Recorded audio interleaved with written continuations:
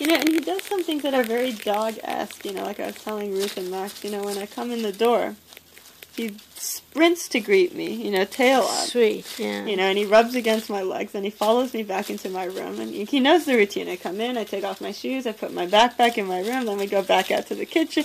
You know, it's it's very cute. It's very, you know, attentive. Where's, where's it?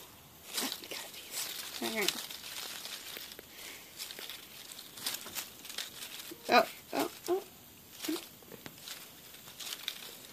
So you have his his what do you call it? uh, claws cut No, regularly? I, I never have a claw cut.